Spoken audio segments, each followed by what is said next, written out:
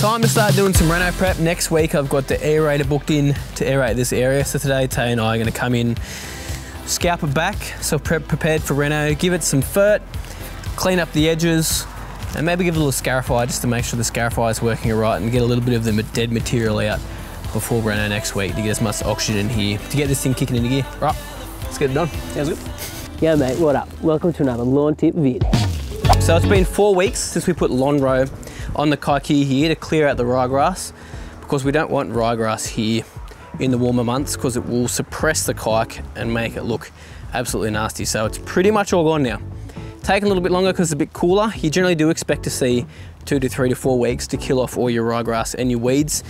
You can see all the clover and stuff in here, it's killed it. That's all completely dead. Didn't like it at all.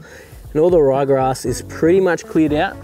We're left with some kikuyu that looks sort of slightly still coming out of dormancy. It's out of dormancy, but it's just got a really, really lime green color across the board. So I want to wake this up a bit, as I said at the start. So today we're going to scalp it back to help get some oxygen down in here, get some of my Dominate fertilizer out to really kick in the guts. I like to do it a week before renovation.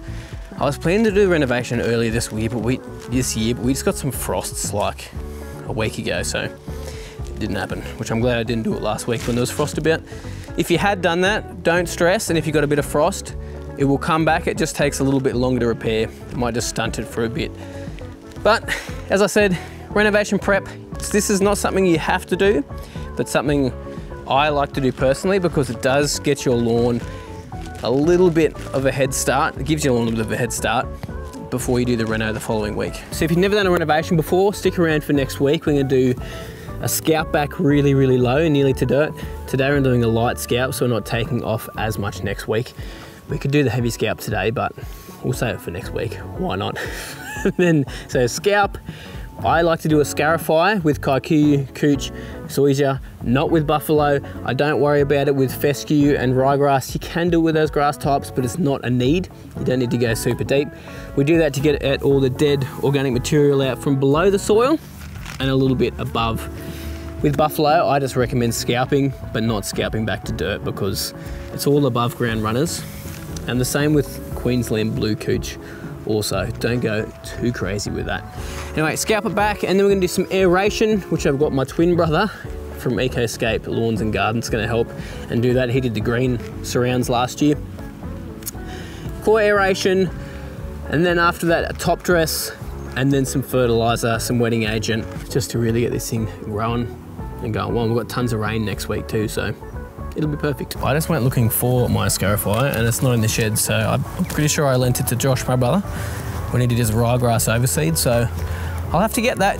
Good thing we don't really need it today. I just like to do a little bit of a Scarify the week before, just so you don't have to go so heavy the following week and remove so much more material. It's just something I personally like to do, but we ain't doing that today. So just a scalp. So we're just using the old X380. I've been using that the last few years. It's great because I've got the catcher. It doesn't scalp super low, but it's enough that when we go to do it with the big bob next week and take it to dirt, we're not pulling a ton of material out. So it's more just to make things a lot less labor intensive in the following week. So we'll cut it up now, do the edges, with the, um, with the edge of taste doing it now and then give it a scalp, give it some foot.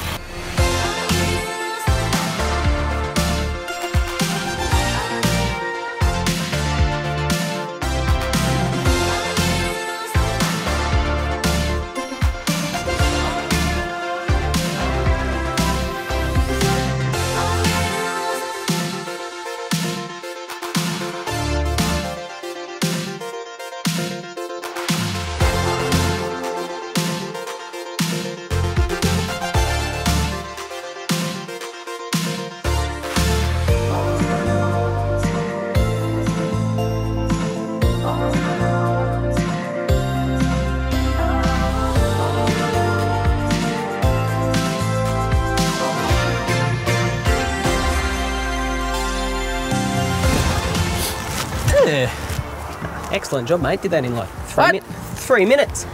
Oh, mate, the joys of ride-ons. Uh, look, it like greened up, so I must have cut all like the frost burnt tips off and it's green. It's weird. See how much we got off. I don't think we got much out of here.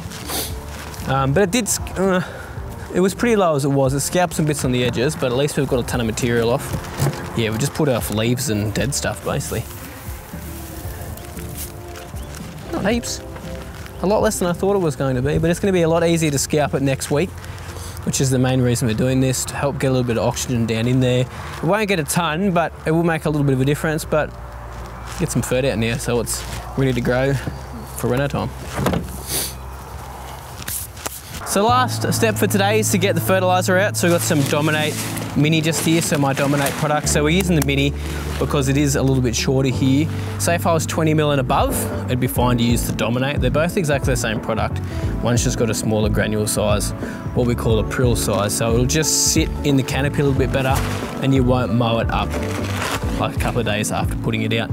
So I put this out today, not at the full rate. Full rate for this is three kilos per 100 square meters. We're gonna go, we'll go two kilos per 100 square meters and probably put out another kilo, kilo and a half the following week, or following couple of weeks, sorry, after that. So about three or four weeks after the renovation.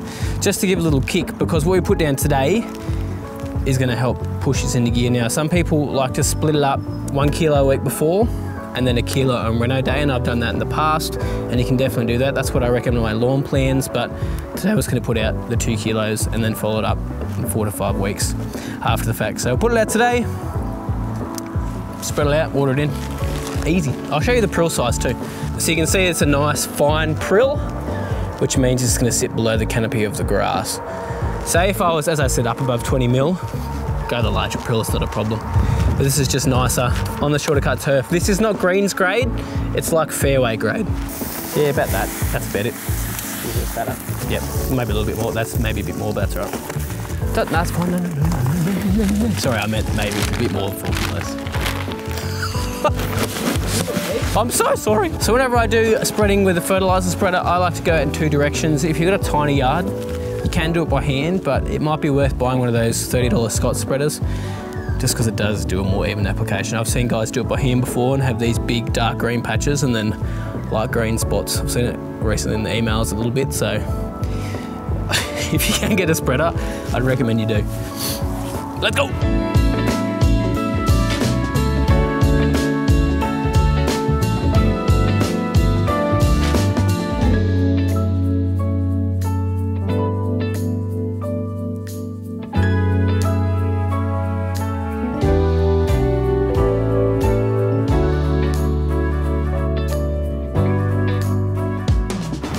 So generally I would water it in within 24 hours with something like my Sumi soakers, which is what I use on this area. This is just a soaker hose and it's really good because it doesn't chuck out too much water and it allows it to soak in. We've got rain coming in about 24 hours tomorrow afternoon. So I'm gonna leave the fertilizer here on the leaf and let the rain do its thing just to save water because I've actually got a leak in our concrete water tank at the moment. So I prefer not to use water, drinking water I could hook the, the bore water up actually, but it's a bit of a process. So yeah, today we'll just wait for the rain because we can. This is very low chance of this product burning unless it's stinking hot. I wouldn't do this. And you can't apply it to the wet ground. So if, say if we had dewy ground, it does activate the prill a little bit and can create a bit of burn. So that's a situation where you'd want to get water down pretty much straight away, but it's dry here, so it's not gonna be a problem. Lawn's actually looking pretty good. I'm surprised with the color there.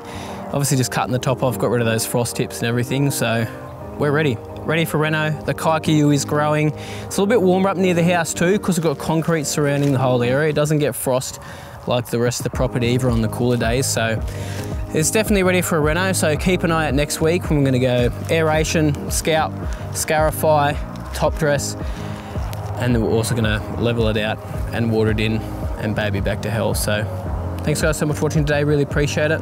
I'll see you guys in next week's vid. Bye.